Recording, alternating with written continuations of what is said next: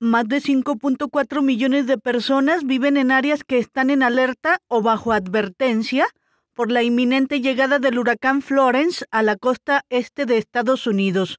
Otros 4 millones de personas se encuentran bajo vigilancia de tormenta tropical debido a una variedad de avisos de mal tiempo por Florence, que se extiende desde Florida en el sur hasta Maine hacia el norte.